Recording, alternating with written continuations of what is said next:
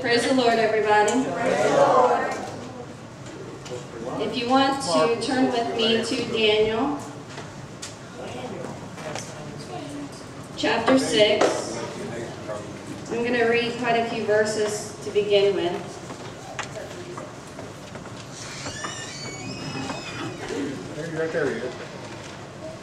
Give you a little background on Daniel. Of course, in Daniel it talks about um, Shadrach, Meshach, and Abednego, and Nebuchadnezzar. And then after Nebuchadnezzar um, was king, was Belshazzar, I believe is the name. Um, and then Belshazzar was slain by Darius, or by the Medes, and Darius became the king after that. And this is where we pick up. Daniel had, had served Nebuchadnezzar and Belshazzar, and now he is under Darius. Starting in verse 1, it says, It pleased Darius to set over the kingdom a hundred and twenty princes, which should be over the whole kingdom, and over these three presidents, of whom Daniel was first, that the princes might give accounts unto them, and the king should have no damage. Then this Daniel was preferred above the presidents and princes, because an excellent spirit was in him, and the king thought to set him over the whole realm. Then the presidents and princes sought to find occasion against Daniel concerning the kingdom. But they could find none occasion nor fault, for as much as he was faithful, neither was there an error or fault found in him. Then said these men, We shall not find any occasion against this Daniel, except we find it against him concerning the law of his God. Then these presidents and princes assembled together to the king and said thus unto him, King Darius, live forever. All the presidents of the kingdom, the governors, and the princes, the counselors and the captains, have consulted together to establish a royal statute and to make a firm decree that whosoever shall ask a petition of any god or man for thirty days, save of thee, O king, he shall be cast into the den of lions.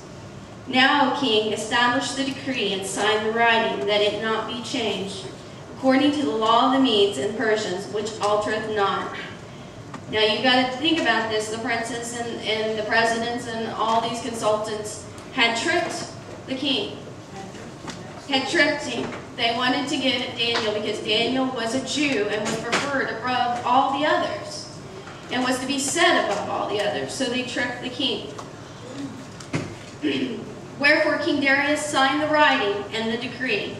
Now when Daniel knew that the writing was signed, he went into his house and his windows being open in his chamber toward Jerusalem, he kneeled upon his knees three times a day and prayed, and gave thanks before his God, as he did aforetime. Then these men assembled and found Daniel praying and making supplication before his God. Then they came near and spake before the king concerning the king's decree. Hast thou not signed a decree, and every man that shall ask a petition of any god or man within thirty days, save of thee, O king, shall be cast into the den of lions? The king answered and said, the, thing is true, according to the law of the Medes and the Persians, which altereth not. This was a law that could not be changed. According to the Medes and Persians, when they, the king made a decree, it could not be changed. Even the king could not change the decree. Then answered they and said before the king, That Daniel, which is of the children of the captivity of Judah, regardeth not thee, O king, nor the decree that thou hast signed, that maketh his petition three times a day. Then the king, when he heard these words, was sore displeased with himself, and set his heart on Daniel to deliver him. And he labored till the going down of the sun to deliver him. Then these men assembled unto the king, and said unto the king, Know, O king, that the law of the Medes and Persians is, that no decree nor statute which the king establisheth may be changed. Then the king commanded, and they brought Daniel and cast him into the den of lions. Now the king spake and said unto Daniel, Thy God, whom thou servest continually, he will deliver thee. And a stone was brought and laid upon the mouth of the den, and the king sealed it with his own signet, and with the signet of his lords, that the purpose might not be changed concerning Daniel. Then the king went to his palace and passed the night fasting, neither were instruments of music brought before him, and his sleep went from him. Then the king arose very early in the morning, and went in haste into the den of lions. And when he came to the den, he cried with a lamentable voice unto Daniel. And the king spake and said to Daniel, O Daniel, servant of the living God, is thy God, whom thou servest continually, able to deliver thee from the lions. Then said Daniel unto the king, O king, live forever. My God hath sent his angel and hath shut the lion's mouth, that they have not hurt me. For as much as before him innocency, innocency was found in me, and also before thee, O king, I have I done no hurt. Then was the king exceedingly glad for him, and commanded that they should take Daniel up out of the den. So Daniel was taken up out of the den, and no manner of hurt was found upon him, because he had believed in his God. I know that's a lot to read. That's a lot to read. And in all honesty, outside of children's Sunday school, we don't hear this account too often much in church. We hear it alluded to, we hear it talked about, but we don't actually read it in church much. And I, I was asked Thursday night to, to speak this morning. I had nothing. Absolutely nothing. We got up yesterday morning, nothing. I just felt completely just hopeless. You know? All day yesterday, thoughts and things went through my head, went through my heart. Nothing. Nothing was settling. Got up this morning, same thing. And I'm going, oh Lord, I'm in a bind here. You gotta help. I had some rumblings on. I was like, no, I don't know. And, and God set this in my heart. What he set in my heart was trust. And I, I just kept thinking on that and dwelling on that. And one of the things I went done, of course, what I like to do is go to find the definition of words. And trust in Merriam-Webster says assured reliance on the character, ability, strength, or truth of someone or something. It's a lot like people take trust and hope and kind of put them together. Trust and belief. You know, belief and trust, there's a lot of things that are similar. Um, I know for me, hope is to expect with confidence. Trust is having confidence in someone else or something else.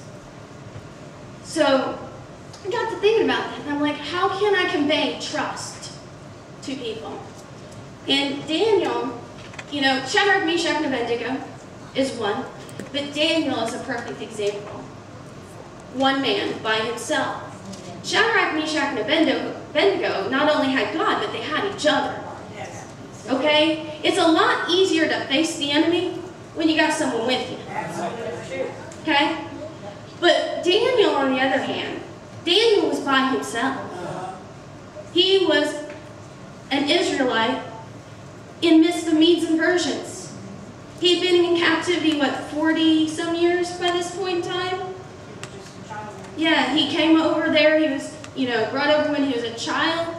He had interpreted dreams for kings. You know, he was set in a high place, but he was still an Israelite.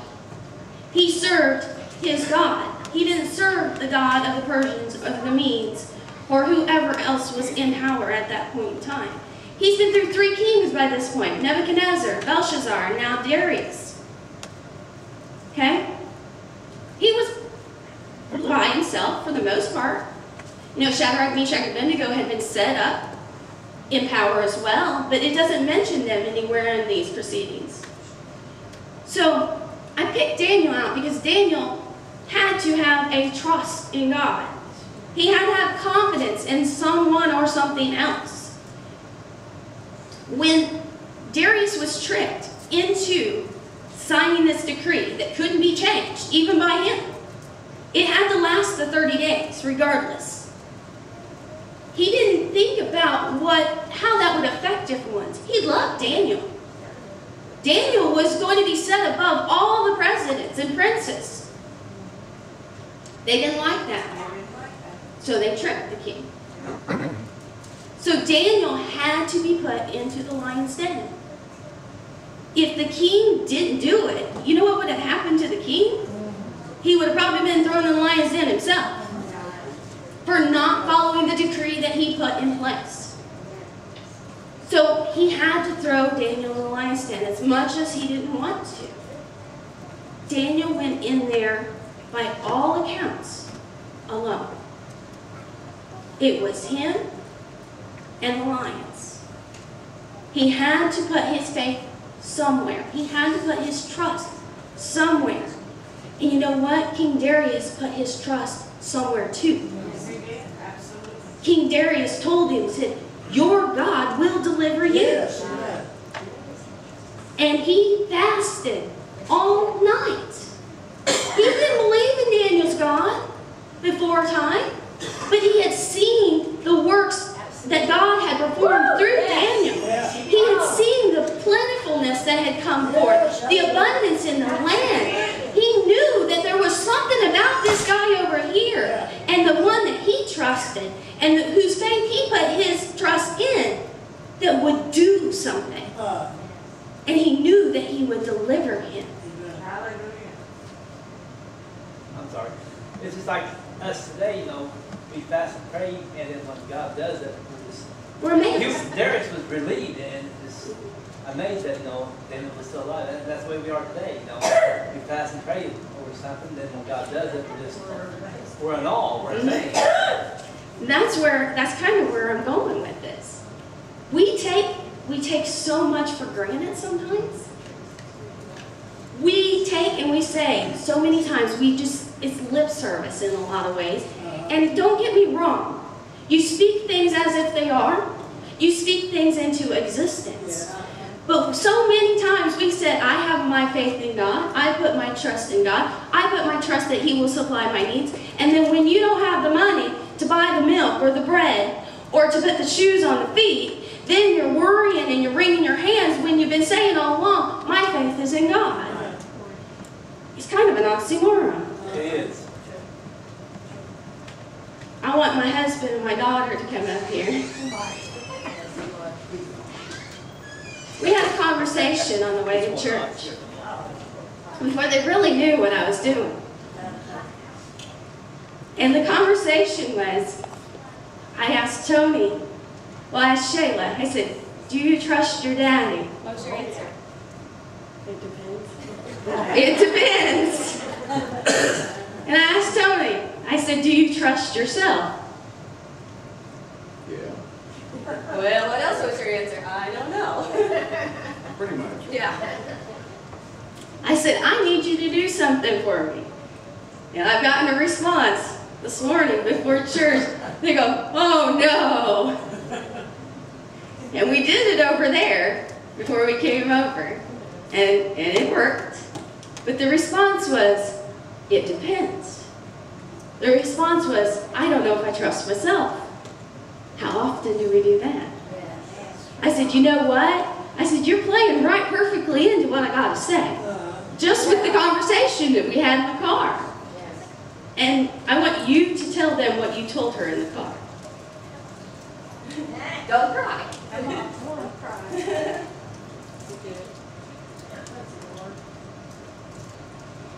Shayla's part of the conversation was, I'm bigger than he is. And yes, she is. But I point blank told her, I will hurt myself to keep my child safe. Yeah. So, look at me.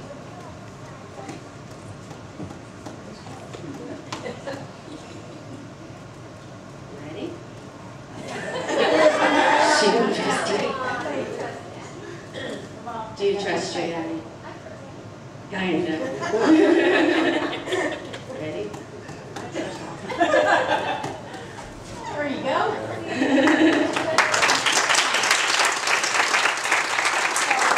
You see, that's pretty, a simple little thing right there, okay? In all honesty.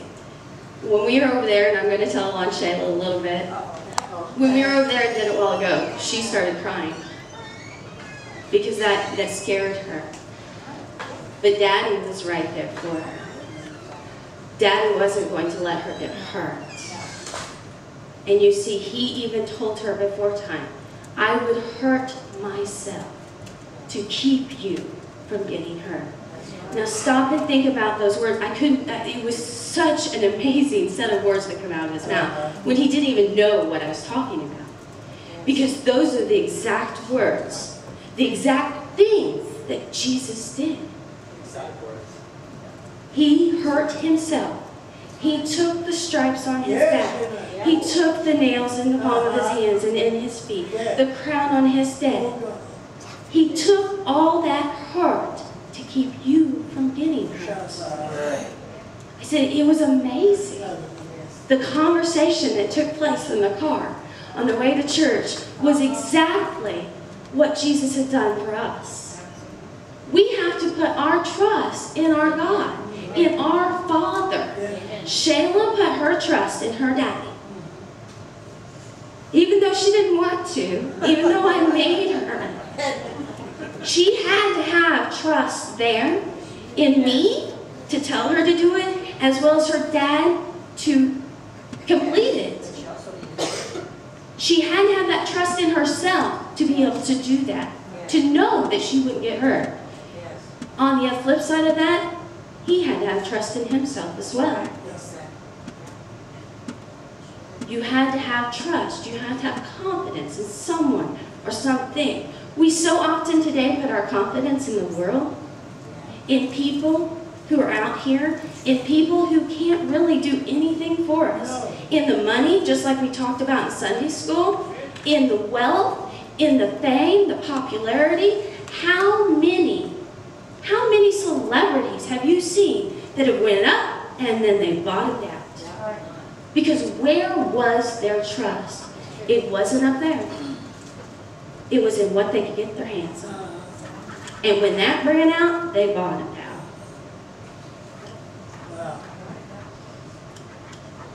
I've got a few scriptures that I just want to share with you, and I pretty much, I, I pretty much have said all that needs to be said. You know what God gave me this morning. But there's a few scriptures and it's just a list of them. I don't expect anybody to turn to them because I'm just going to run through them. But these are scriptures I looked up on the internet when I was studying this this morning. Looked up and trying to quickly find scriptures on trust. And Psalms 9:10 says, "And they that know my know thy name will put their trust in thee, for thou, Lord, hast not forsaken them that seek thee." Psalms 28:7 says, "The Lord is my strength and my shield; my heart trusted in him, and I am helped. Therefore my heart greatly rejoiceth; with song will I praise him." Psalms 31:14, "But I trusted in thee, O Lord; I said, Thou art my God." Psalms 52:8, "But I am like a green olive tree in the house of God. I trust in the mercy of God forever and ever." Psalms 56:3, "What time I am afraid, I will trust in thee." And that was perfect to go along with what happened here. Shayla was afraid. She didn't want to do it, but she put her trust in her dad. How many times are we afraid to take that next step forward into what God has for us? And we hold ourselves back from doing what God wants us to do or moving forward in His will because we can't put our trust in Him. When you get afraid, you need to remember that song, that verse. What time I am afraid, I will trust in thee. Psalms 56, 4, In God I will praise his word, in God I have put my trust. I will not fear what flesh can do unto me. Proverbs 3, 5, Trust in the Lord with all thine heart, and lean not unto thine own understanding. Isaiah 12, 2, and this is one of my favorite sets of scriptures. It says, Behold, God is my salvation. I will trust and not be afraid. For the Lord Jehovah is my strength and my song. He also has become my salvation. Isaiah 26, 4, Trust ye in the Lord forever, for the Lord Jehovah is everlasting strength. And lastly, 1 Timothy 4.10, For therefore we both labor and suffer reproach, because we trust in the living God, who is the Savior of all men, especially of those that believe. Amen.